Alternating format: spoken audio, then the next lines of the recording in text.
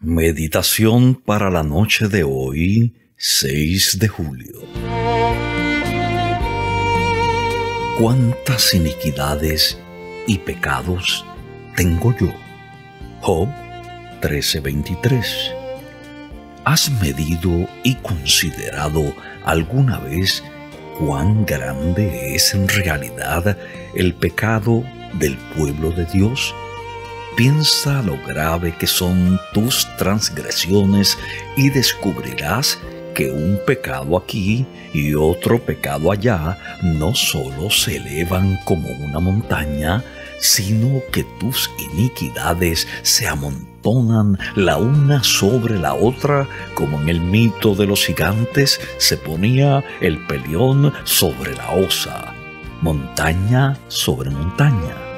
¡Qué cúmulo de pecados hay en la vida de uno solo de los más santificados hijos de Dios. Intenta multiplicar este, el pecado de uno solo, por la multitud de redimidos que ninguno podía contar, y tendrás una idea de la mole de pecado que hay en aquellos seres por quienes Jesús derramó su sangre. Sin embargo, llegamos a un concepto más adecuado de la magnitud del pecado por la grandeza del remedio provisto. Ese remedio es la sangre de Jesucristo, el único y bien amado Hijo de Dios. Hijo de Dios.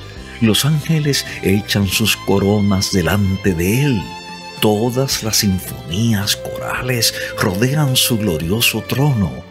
Dios sobre todas las cosas, bendito por los siglos. Amén.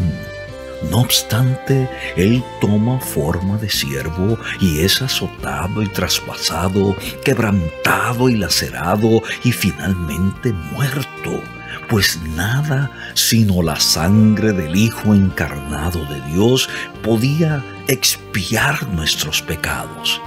Ninguna mente humana es capaz de estimar adecuadamente el infinito valor del sacrificio divino, porque aunque el pecado del pueblo de Dios sea grande, la expiación que lo quita es mucho mayor.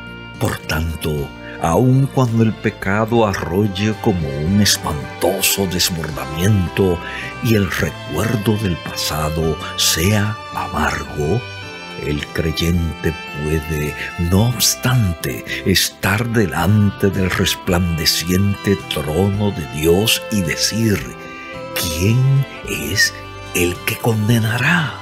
Cristo es el que murió, más aún el que también resucitó.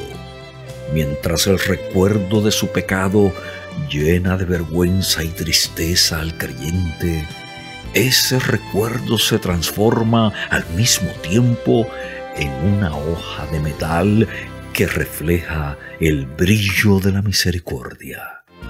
El pecado es la noche oscura en la cual la brillante estrella del amor divino alumbra con claro resplandor.